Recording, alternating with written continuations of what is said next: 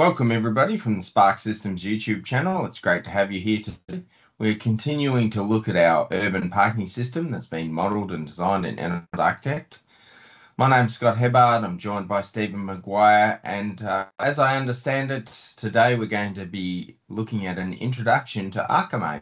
So I'm really interested to see uh, how Archimate can be used within Enterprise Architect. So welcome, Stephen. It's great to have you with us today. Uh, what is Archimate and how can we use it in Enterprise Architect? Thank you for the introduction, Scott, and always delighted to be here. So we are going to be looking at Archimate, but a broader topic that this relates to is the concept of enterprise architecture.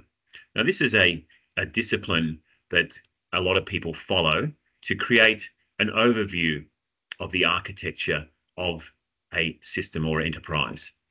So the reason why people develop uh, an enterprise architecture is because there are stakeholders who have concerns that need to be addressed, both business stakeholders and IT stakeholders uh, within an organization. So the role of the architect is to address these concerns by identifying and refining motivation and strategy, such as drivers that are influencing the organization. There might be, you know, compliance and regulation things. There might be uh, competitive competitors in the marketplace, and the need then is to develop an architecture. And once the architecture is created, or as it's been created, there is a need to create uh, views or viewpoints of that architecture so that people can see, uh, visualize what the architecture is about.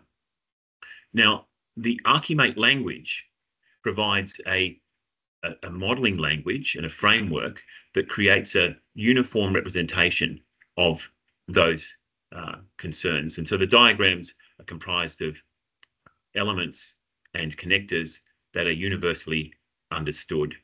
So is Archimate something that enterprise architects developed, or is it a standard?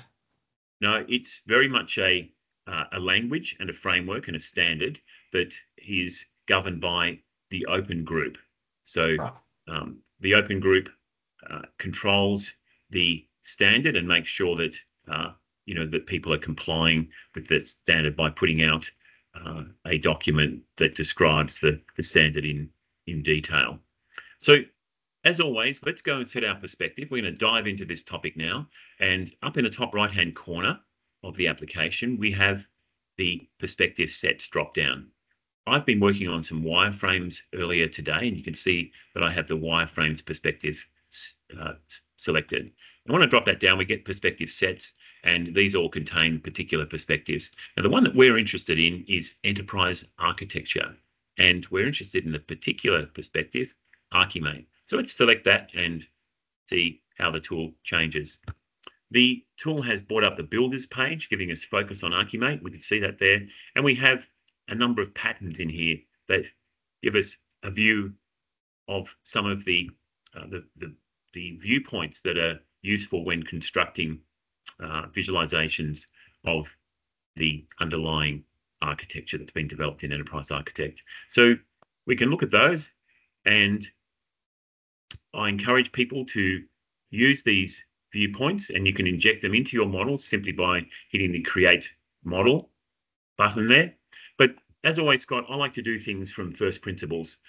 so I'm going to close this, but I again, I welcome people to return to this and get the productivity gains uh, from using these patterns.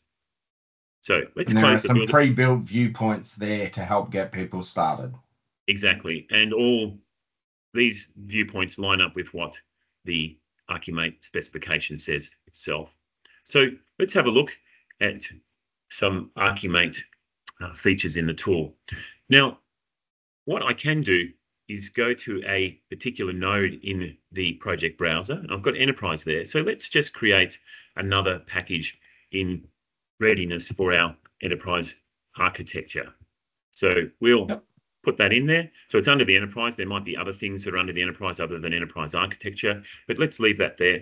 Now let's turn our focus, Scott, to how people can get started with this language and framework. Well, let's click on the library there.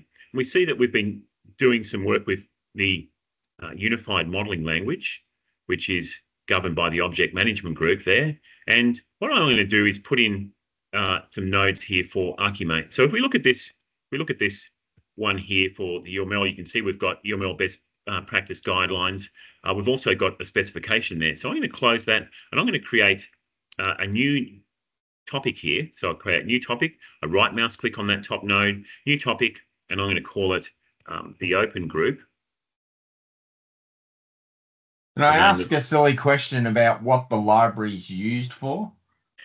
Yeah, it's a great question, Scott. The library is a, a built-in kind of registry, if you like, of all sorts of things that are interesting uh, and useful for a project. So, you know, specifications, uh, guidelines, um, rules, all sorts of things that your project might uh, that might be useful. So, Enterprise Architect has been built from the ground up as a team collaboration environment, and it's really important while you're modeling to have access to particular information. It might be guidelines, it might be standards, specifications, you know, rules, uh, examples. So the sky's the limit in terms of what you can put in into this uh, into this library, and it's shared by everyone. You can see that library uh, in the current model, and you also have the ability to see it uh, in other connected models as well. So, so it's basically a digital library of references that's valuable to everyone in the project.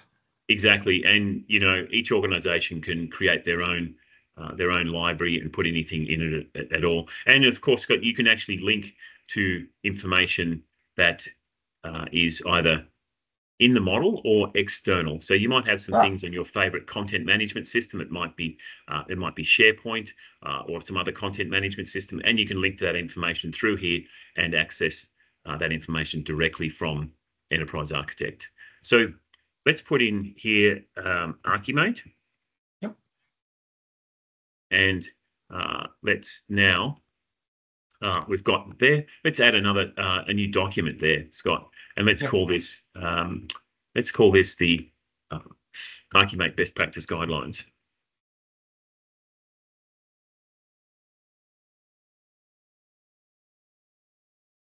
And uh, we can, you know, add some content there. So let's do that. We're just going to put some, uh, start putting some uh, content in, and let's do that. So we'll give it a title, and let's put that into the document and I can use uh, different styles that I've got, you know, saved in in uh, model documents. So I'm just going to go and uh, and fill this in, Scott, and we'll you know we'll see uh, the content that we get for our guidelines. And I encourage people to, organisations to create their own uh, their own principles, their own guidelines, where we can see diagram specific guidelines, the business layer diagram, application layer diagrams, viewpoint specific guidelines. All of those things are, are there, and any organization can create their own. The other thing that I might want to do, though, Scott, is I want to put the specification in because there will be people that are using uh, the Archimate inside Enterprise Architect, and they might want to access the application uh, itself. So let's put in, or the sorry, the specification itself. So let's put in a uh, add a URL there, and we've got uh, the name of that URL. So let's put that in, and uh, we'll call it the uh, the Archimate uh, 3.2 specification. So, oopsie daisy, that's not going to go in there. Let's put that to the end. Archimate 2 specification. And let's get the URL for that and we'll uh, put that in in here and let's see what happens when we save that. So I'll say OK to that. And you can see that's gone under a, a resources tab there. Yep. So let's now um, save button. We'll uh, close that one there. And let's open this up here. We can double click on it there. I'm going to, it's popped up on another monitor, Scott. I'm just going to drag that onto this screen. Yep. Um, it's popped up in my browser. It's open there.